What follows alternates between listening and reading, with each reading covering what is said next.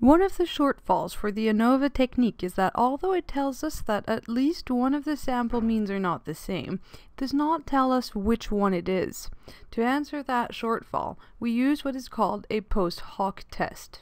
The post hoc test we will use is known as the Scheffé test. This test compares the means two at a time using all possible combinations.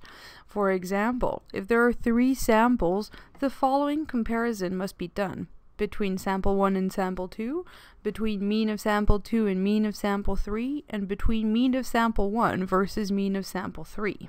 Let's find out which one of our strawberry plants yield a significantly different average number of strawberries.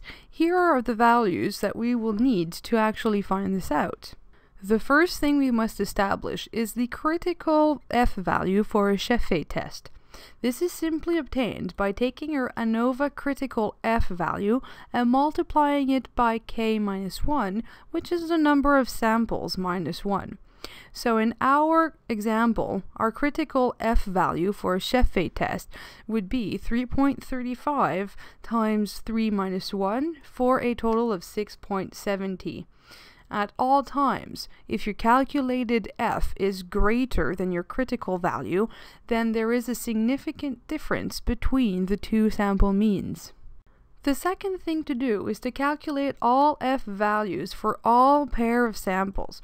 Remember that we have three pairs of means to compare, so here we go. Here is the equation to calculate your Scheffé values. Remember you must do this for every pair of means that you have. The Scheffé test is based on f values. The numerator is simply to first calculate the difference between the means of your samples and then square that result. To get the denominator, you take the within group variance that you've calculated when doing the ANOVA and you multiply that by 1 over your first sample n plus 1 over the second sample n. Here are the values for the first two samples. By plugging in the values in the equation, we obtain a f for these two samples of 2.18. This value is lower than our critical f, so we can say that there is no difference between the means of sample 1 and the mean of sample 2. Let's go on.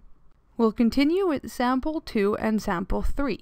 Because our n's are equal, the only thing that changes in the equation is the values of the means. The f value between sample 2 and sample 3 is of 2.49, which is also inferior to our critical value, so there is no difference between sample 2 and sample 3. Our last verification is between sample 1 and sample 3. Again, our n's are equal, so the only thing that changes in the equations are the means. The f value between sample 1 and sample 3 is of 9.32. This is actually higher than our critical value, so there is a significant difference between sample 1 and sample 3. Let's recap this. There is no significant difference between the first two strawberry varieties. There is no significant difference between the second and the third variety. There is a significant difference between the first and the third variety. As such, we can only state that the only significant difference lies between variety 1 and variety 3.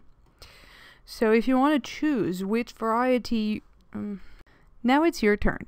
Pause the video and find if, at a 0.05 significance level, one or more of these groups have a distinct lab result mean. There are actually two significant differences between Group 1 and Group 3, as well as between Group 2 and Group 3.